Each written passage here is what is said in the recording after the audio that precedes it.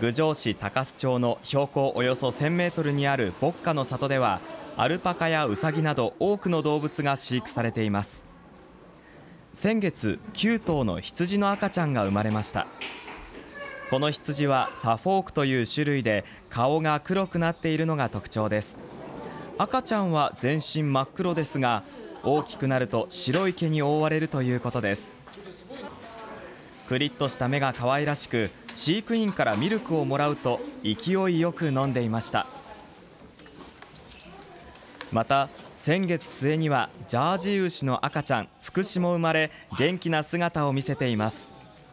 訪れた人たちは写真を撮ったり触ったりして楽しんでいました。